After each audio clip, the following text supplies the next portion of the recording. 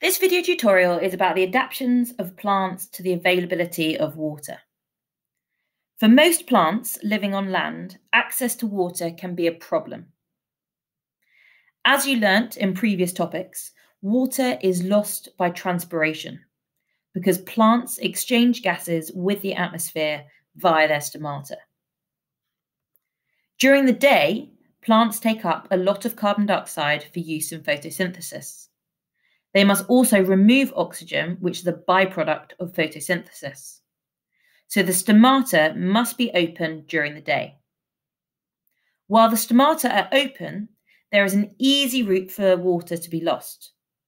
This water must be replaced. Plants living on land must be adapted to reduce the loss of water and replace the water that is lost. Most terrestrial plants can reduce their water losses by structural and behavioural adaptations. A waxy cuticle on the leaf will reduce water loss due to evaporation through the epidermis. The stomata are often found on the undersurface of leaves, not on the top surface. This reduces the evaporation due to direct heating from the sun. Most stomata are closed at night when there is no light for photosynthesis. And deciduous plants lose their leaves in winter when the ground may be frozen, making water less available, and when temperatures may be too low for photosynthesis. Marram grass specialises in living on sand dunes. The conditions are particularly harsh because any water in the sand drains away quickly. The sand may be salty and the leaves are often exposed to very windy conditions.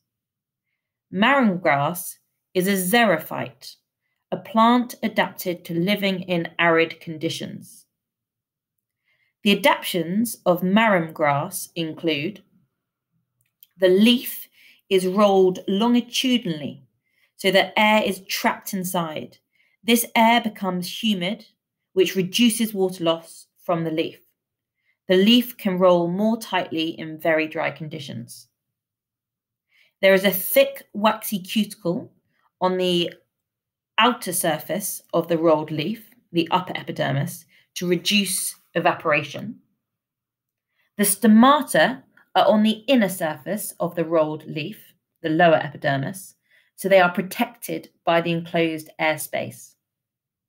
The stomata are in pits in the lower epidermis, which is also folded and covered by hairs. These adaptations help to reduce air movement and therefore loss of water um, or water vapour. The spongy mesophyll is very dense with few air spaces, so there is less surface area for evaporation of water. Cacti show other features to overcome arid conditions. Cacti are succulents. They store water in their stems, which become fleshy and swollen. The stem is often ribbed or fluted so that it can, expand when water is available. The leaves are reduced to spines. This reduces the surface area of the leaves. When the total leaf surface area is reduced, less water is lost by transpiration. The stem is green for photosynthesis, and the roots are very widespread in order to take advantage of any rain that does fall.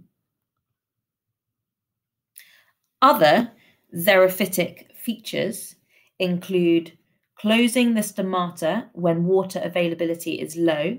This will reduce water loss and so reduce the need to take up water. Some plants have a low water potential inside their leaf cells. This is achieved by maintaining a high salt concentration in the cells. The low water potential reduces the evaporation of water from the cell surfaces as the water potential gradient between the cells and the leaf air spaces is reduced. And finally, a very long tap root that can reach water deep underground is another feature of xerophytes.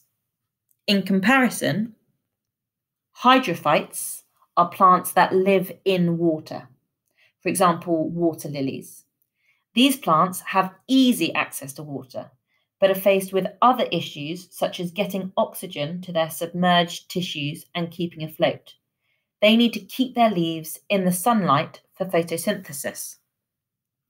The adaptations of water lilies include many large air spaces in the leaves.